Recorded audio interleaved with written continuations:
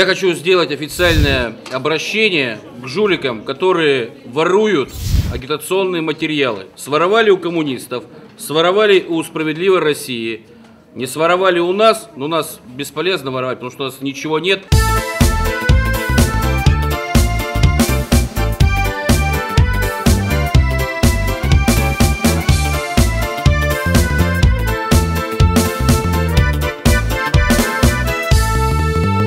Мне с детства говорили, не воруй Не своровали у путинцев и не своровали у ЛДПР.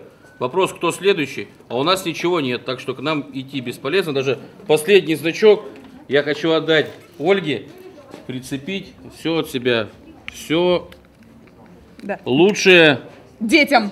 женщинам. Беру исключительно для того, не обещаю носить, не снимаю его, беру для того, чтобы доказать действительно последний. Просто рядом наши офисы находятся.